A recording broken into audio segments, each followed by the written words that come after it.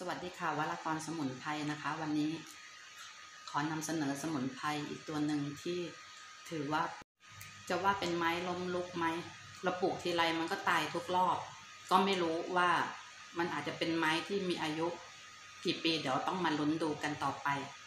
ทีนี้เรามาดูลักษณะของเขานะคะ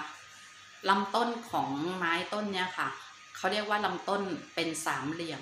มันคงยากที่จะมองเห็น แต่ถ้าเราจับ ได้สัมผัสดูเราจะรู้เลยว่าเขาเป็นสามเหลี่ยม ปกติลำต้นของไม้มันจะกลมหรือไม่ก็เป็นสี่เหลี่ยมเนาะแต่ว่าไม้ต้นเนี่ยค่ะ เอกลักษณ์ของเขาจะมีหลายอย่างที่ให้จดจำได้ง่ายมากนะคะ ไปเห็นที่ไหนเราจะรู้ทันทีลำต้นเขาจะเป็นสามเหลี่ยม ใบจะมีลักษณะ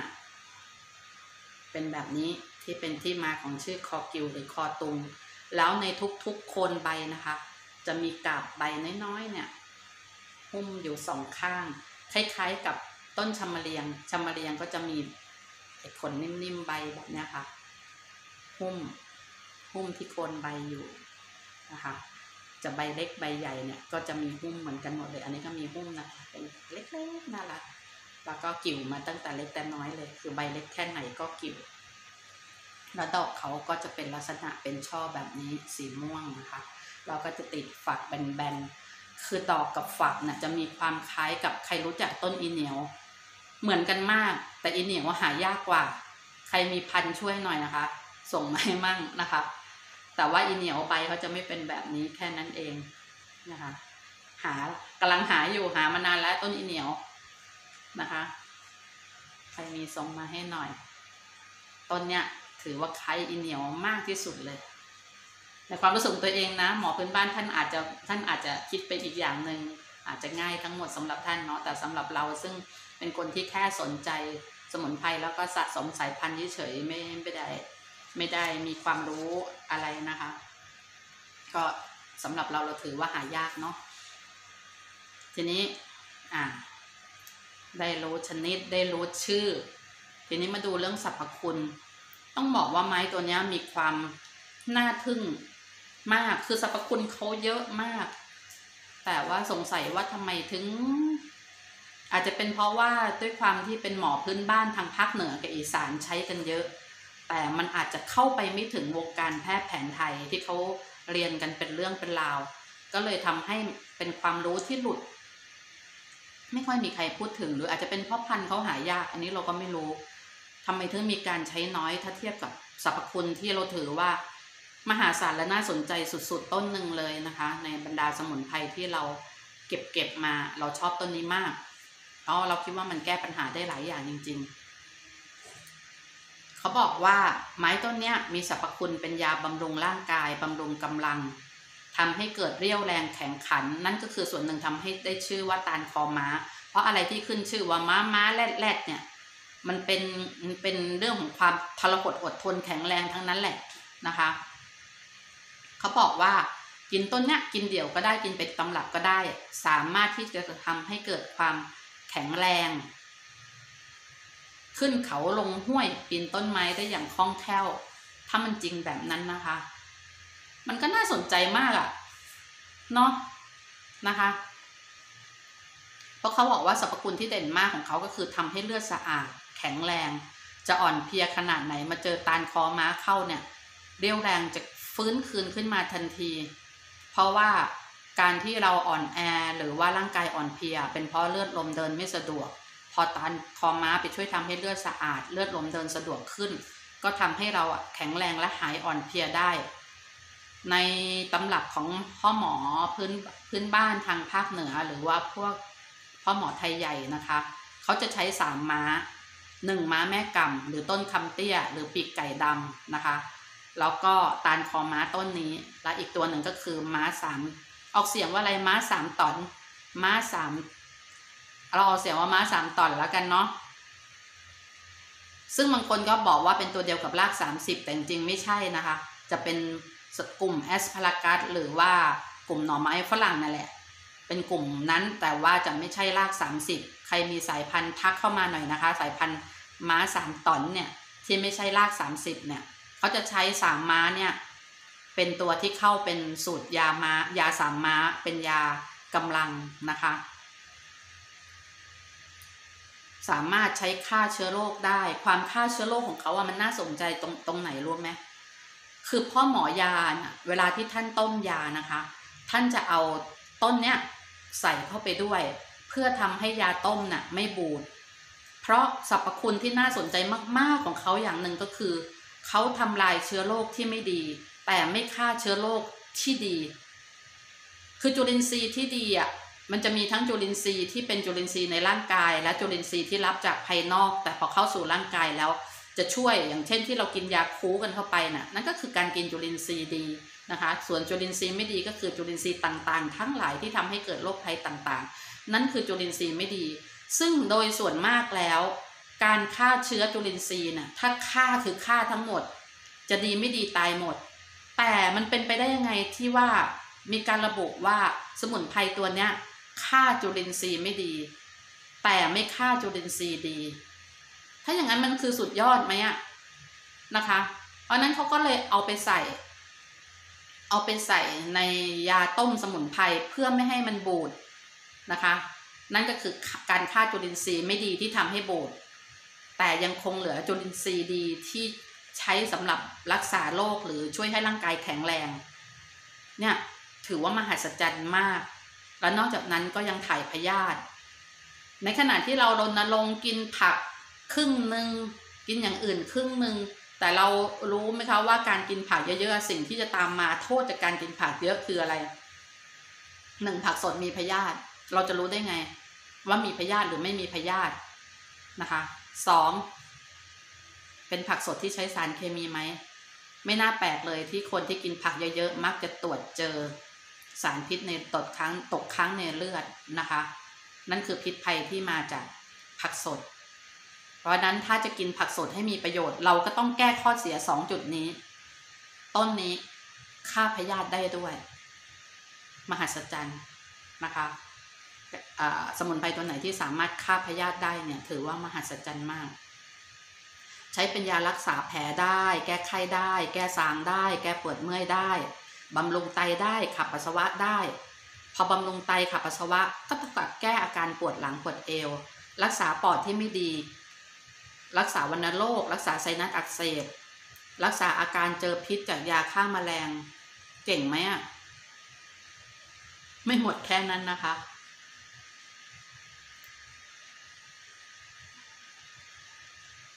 เขา บอกว่าส่วนของตาลคอม้าเนาะถ้าจะใช้ต้มกินบำรุงไตหรือขับปัสสาวะแล้วก็ขับนิ่วได้ด้วยนะคะ ให้คนป่วยต้มทั้งรากต้นใบดอกผล ต้นแล้วอะ่ะน้ำยาน้ำยาจะออกมาเป็นสีแดงๆ แล้วก็ในเด็กที่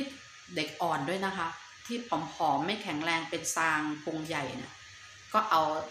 รากลำต้นใบดอกผลเนี่ยมาต้มกินต้มอาบนั่นคือเด็กเป็นซาง ซึ่งเขาคิดว่าเชื่อว่าน่าจะต้องมีพยาธิซึ่งก็ปกตินะคะเด็กส่วนใหญ่เมื่อก่อนเนี่ยเขาก็มีพยาธิกันอยู่แล้วแหละให้ต้มกินแล้วก็ต้มอาบนะคะ เพื่อแก้อาการตาลชางแล้วก็ฆ่าพยาธิที่อาศัยอยู่ในตัวของเด็ก หมอยาอีสานจะเรียกหญ้าต้นนี้ว่าต้นปอบหนอนหรือหนอนหน่าย ปอบเนี่ยก็คือ ถ้าปอบธรรมดาก็กินคน ปอบหนอนก็กินหนอน หรือต้นหนอนไหน ต้นหนอนไหนก็คือหนอนเบื่อหนอนไม่ชอบนะคะ ใช้ฆ่าหนอนอหมอชาวบ้านยะโสธรจะใช้เข้ายาหม้อใหญ่ ยาหม้อใหญ่ก็คือยาที่รักษาสัพพโรคเหมือนกับยาซุมใหญ่ที่เป็นยาฝน อันนั้นก็รักษาสารพัดโรคเหมือนกันนะคะ ยาหม้อใหญ่ก็คือยาที่รักษาสารพัดโรค ใช้สมุนไพรเกือบหนึ่งร้อยชนิดมาต้มรวมกัน เขาก็เชื่อว่าในในหม้อต้มนั้นน่ะ จะใส่ต้นเนี้ยตันคอม้าหรือว่าข้าวกำนกหรือว่าหญ้าคอกิ่วหญ้าคอตุงเนี่ยใส่ลงไปด้วย เพื่อไม่ให้ยาบูดนะเธอ มันน่ามหัศจรรย์ไหมอะ เราไม่ต้องใช้สารกันบูดเลย เนี่ยเป็นจุดหนึ่งที่ถ้าใครที่เป็นคนทำผลิตภัณฑ์จะรู้เลยว่าปัญหาหนึ่งของการทำผลิตภัณฑ์ก็คือทำยังไงจะไม่บูดแล้วก็ไม่อยากใส่สารกันบูดด้วยเพราะพอขึ้นชื่อว่า อยากจะเป็นสายสุขภาพ สายสมุนไพรสายธรรมชาติแล้วอะ่ะ ก็จะพยายามหลีกเลี่ยงสารเคมีทุกชนิด อันนี้เป็นทางออกเลยค่ะ เพราะคนโบราณหมอพื้นบ้านแต่เก่าแต่ก่อนเขาก็ทำอย่างนั้น ก็คือจะใส่หญ้าหนอนในเนี่ย ลงไปด้วยเพื่อไม่ให้บูด แล้วก็ตัวของเขาเองก็มีฤทธิ์เป็นยากระใสแก้ปวดเมื่อย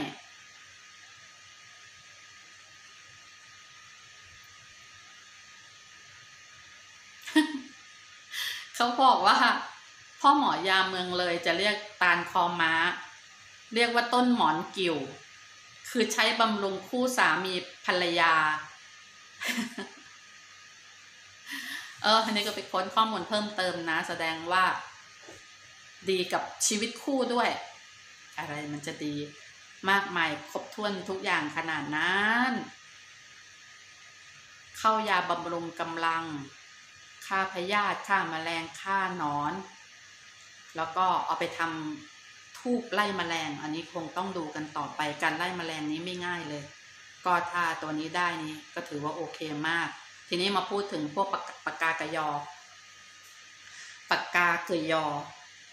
คือชาวเผ่าปากแต่เราถนัดเรียกปากกากยอเนาะคิดถูกไม่รู้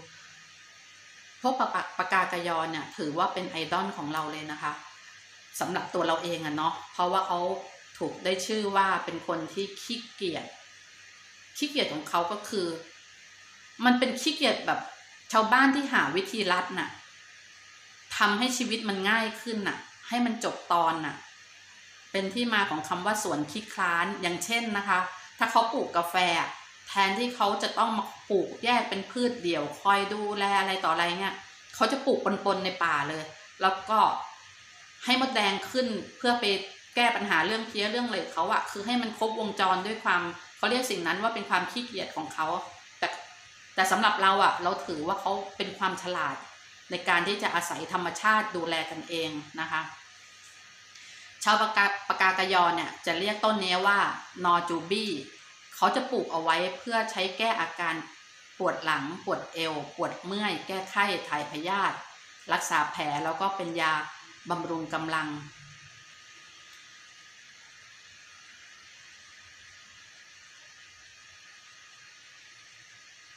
แล้วเขาก็ยังเรียกต้นนี้ว่า ต้นกวางหินแจ๊ะกวางหินแจ๊ะเนี่ยใช้เรียกไม้หลายตัวมาก ๆ ที่เรารู้จักกันดีที่ดังระเบิดระเบ้ออยู่ตอนนี้ก็คือต้นสังกรดีดอกสีม่วงเนาะต้นเนี่ยก็ถูกเรียกว่ากวางกวางหินแจ๊ะจริง ๆ ก็คือกวางหินแฉะนั่นแหละนะคะ ก็คือแสดงว่าเป็นยาบำรุงกำลังเกี่ยวกับอย่างว่านั่นแหละ คือบำรุงสมรรถภาพนะคะ ซึ่งก็น่าสนใจ คือจริง ๆ แล้วถ้าเลือดลมดีอะไรมันก็ดีไปหมดอะจบเนาะ เลือดลมดีสักอย่างอะทุกอย่างมันก็ดีไปหมด ร่างกายทุกส่วนมันก็จะถูกฟื้นฟูเลือดไหลเวียนสะดวก มันก็ทำหน้าที่ของมันได้ดีขึ้นหรือดีตามปกติ มันก็แค่นั้นเองกลไกของเขาเนาะตอนนี้มีงานวิจัยว่า จะเอาสารแพนนิน ที่เป็นสารเคมีอีกตัวหนึ่งสารเขาเรียกว่าอะไรโอโซสารอีกตัวหนึ่งที่อยู่ในตาลคอม้านะเนาะคือแทนนินก็คือสารที่มีรสฝาดนั่นแหละต้นเนี้ยฝาดก็คือสมานภายนอกภายใน ก็คือมีฤทธิ์ที่จะสมานแผลแล้วก็ฆ่าเชื้อโรคแบบเดียวกับสารแทนนินนี่ก็ในเปลือกมังคุดก็มีนะคะ แต่อาจจะเป็นแยกย่อยรายละเอียดว่าเหมือนหรือต่างกันเนาะ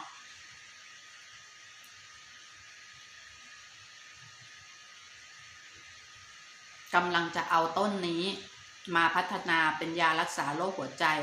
โรคหอบหืด อาการซึมเศร้า ปรับระบบภูมิคุ้มกัน เพิ่มความสามารถในการเรียนรู้